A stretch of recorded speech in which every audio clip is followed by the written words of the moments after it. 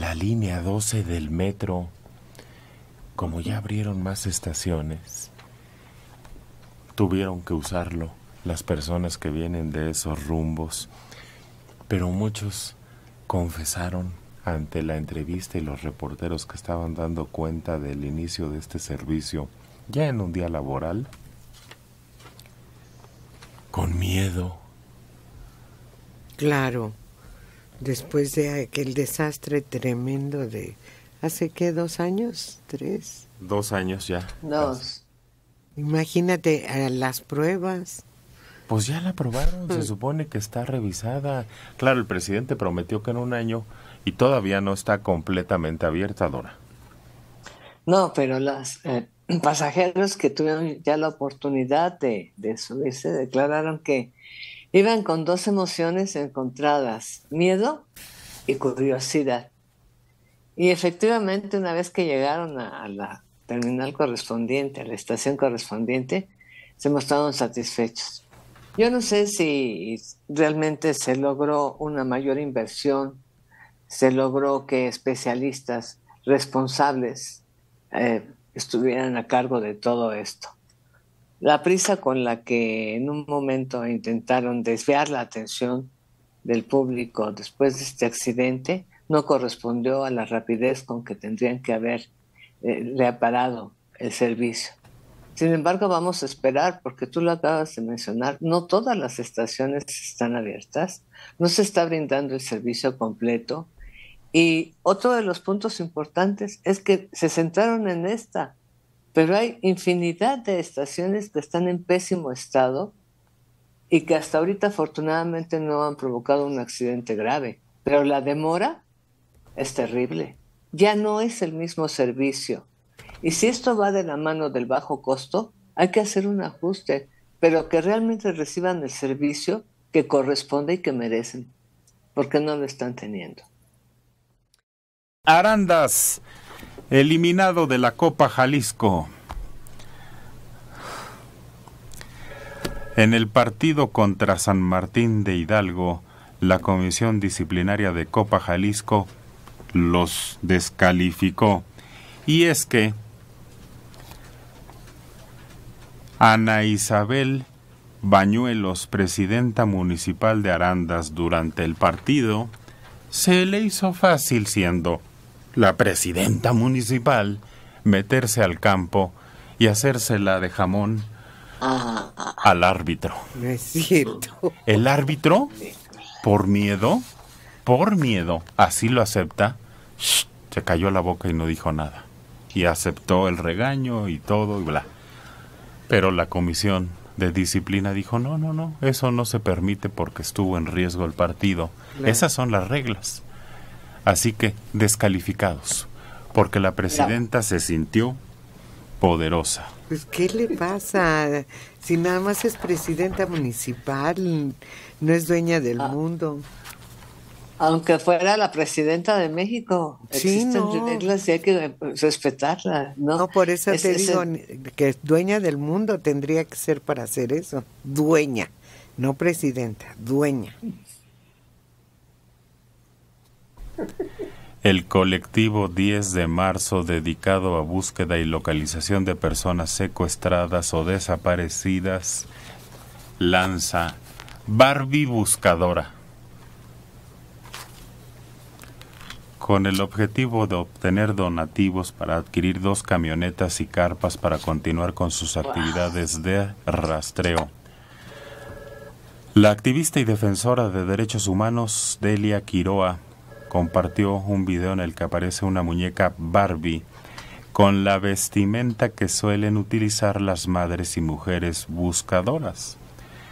Lo hacen porque viene la película y quieren llamar la atención de directivos de la película y de la marca Mattel para ver si pueden hacer un donativo para comprar dos camionetas y una carpa. Solicitan que les hagan caso y presentaron esta muñeca. A ver si no los demandan. Pues sí, eso pasó con la muñequita Frida. Salieron, la familia se quejó, las tuvieron que recoger del mercado y por eso valen tanto. Pero fue un pleito de dineros que la familia no permitió que hicieran la muñeca Frida Kahlo. Una culebra fue encontrada en la alcaldía Gustavo Amadero. Fue hallada por una vecina. ¿De esas culebritas de agua? No, una culebra que le llaman sorda. ¿Cómo sorda? Pues sí. Todas son sordas, ninguna tiene oído. Orejas. Bueno, orejas sí, tienes razón, oídos sí. Sin cuate. Ah. No sin cuates. No. No sin cuates. Chincuata, sí. No hace nada. Son mancitas. Exacto, Mario. Pero se confunde con la cascabel. ¿Es pequeñita igual que la cascabel? No, es más grandecita, pero por el color. Es amarilla. Un amigo, un amigo mío, Amezcua, tenía una, se llamaba Chabela, como la de la película de, de, de- De la tucita. ¿Y dónde la tenía? En la casa, en su casa, y la llevaba a la, a la escuela. Ah, chis. Duró muchos años. La llevaba y no le enseñaba. Oye, sí. Que, le- que comía ratones. Ay, donde los sacaban, pero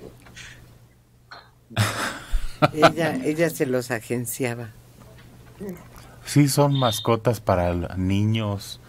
Algunas. Con cuidado porque muerden. Aunque no son venenosas, muerden. Y muerden feo. pero no son agresivas ellas. No, esta es la que se enreda. Hay unas que sí, ¿eh? Ah, no, sí. Los boidos, aunque sean chiquitos, sí son agresivos. Pero antes, bueno, cuando yo era niña, la una mascota para niños eran las culebras de agua. Era Todavía. frecuente. Todavía venden unas. Daba miedo.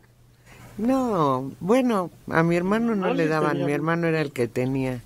Mi Su- mamá era, era de la villa y, y, y les tenía mucho miedo porque había unas que no eran, pero otras que sí eran venenosas. Mm. Se podía distinguir por la cabeza, pero estaba sin experto.